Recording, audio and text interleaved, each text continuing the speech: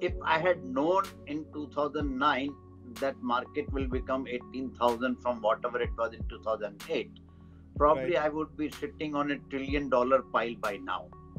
okay. Markets do not value present.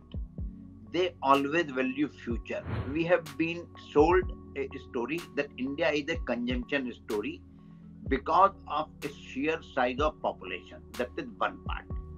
The second part is this where all over the world there is a pessimism of recession, high inflation, and something, India has done relatively much, much better. Hello and welcome. I'm Abhishek Singh, and you're watching The Mint. Indian markets reclaimed the world's fifth largest stock market tag. India had lost the tag to France in January this year. With an addition of $330 billion to the market cap, the total market capitalization of the Indian stock market has breached the $3.3 trillion mark.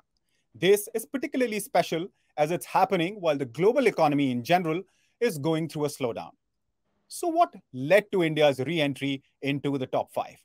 To talk about it, I'm joined by J.N. Gupta, former SEBI Executive Director and Managing Director, Stakeholders Empowerment Services.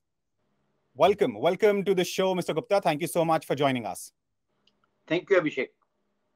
So, as I mentioned earlier, India is back in top five. And as somebody who was the executive director of market regulator SEBI uh, roughly a decade and a half ago, did you think in those days when the market had just come out of a crisis in 2008 that the markets will multiply more than six times from less than 2,700 something in 2009 to 18,500 plus now? What will you say about this incredible growth India's stock market has seen in the last one decade, sir? Uh, I tell you very simply, if I had known in 2009 that market will become 18,000 from whatever it was in 2008, probably right. I would be sitting on a trillion dollar pile by now. okay.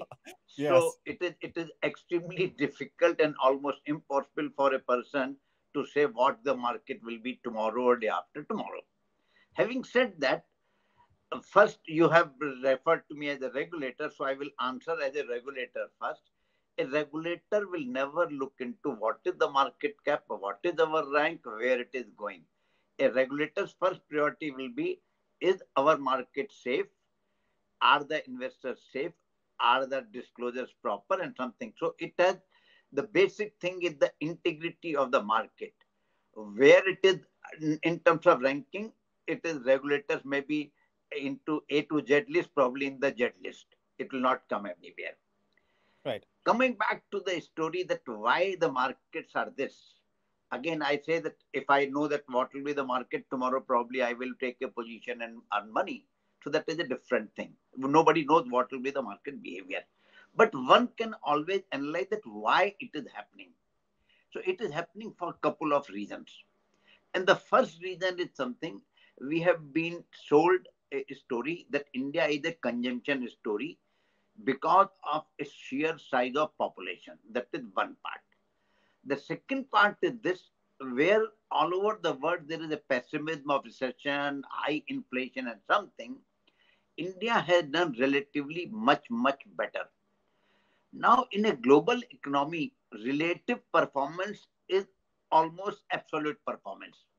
Because when investors find that person A or country A is doing better than country B, they come to country A because it's a relatively they, they, they, the capital moves where there is much better return.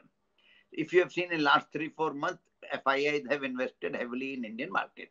That is second.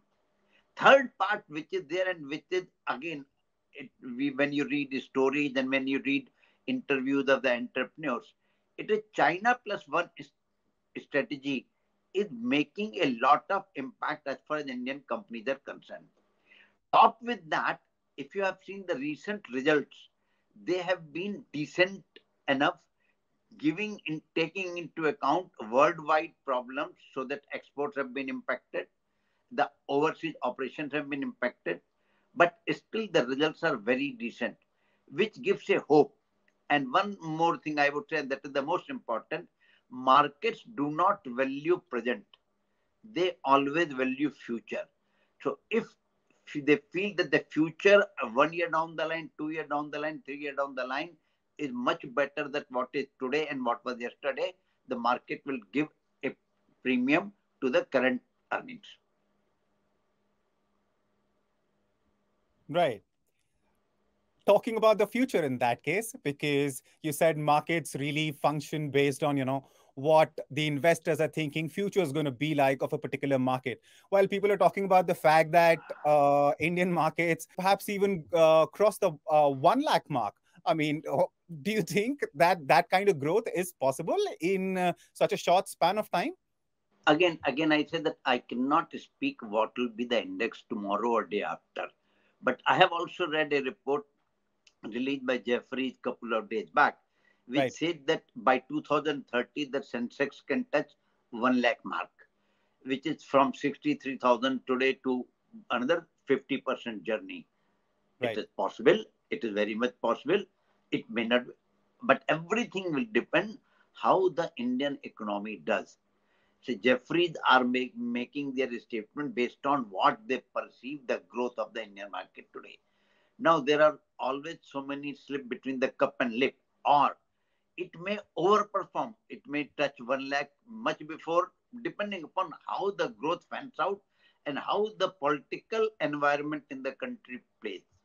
That is the most, because in India, the only negative that comes in any business is the political hurdles. Right. So a stable government, if that remains in place, uh, and the economy continues to grow at the pace that it is growing, and perhaps sort of you know even exceeds the current pace of growth, then that number, that figure is not unachievable. All right. And what do you think? I mean, in terms of you were talking about the fact that it depends on how the economy is doing. Uh, what would your assessment be of the Indian economy at this point in time? So what we are seeing that inflation is coming down. It is within the manageable limit and if the monsoons are good, then it will certainly continuous downward trajectory. That is point one. The second thing is that the, if the business environment continues to be positive, that is second. And third, if the China plus policy is really successful, and if we get a good share of that pile of export that moves out of China or production out of China to India, and as we have already seen, Apple, etc., are coming here, or Tesla is trying to come here. So that may really give a boost to Indian thing. Only thing is this that we have to start thinking business as separate from the politics because business will continue because business will make take care of the population because of the jobs and GDP the politicians, the political party, the government may come and go. So business should not be seen as adversary to the government. Business is always contributing to the success of government, be it any government. Because if the business stops, there will be no taxes, there will be no employment. What political parties will deliver to the people?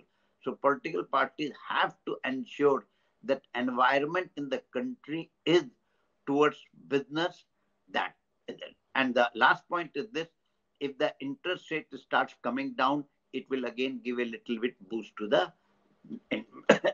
gdp it was a pleasure talking to you. Thank you so much for talking to us uh, mr gupta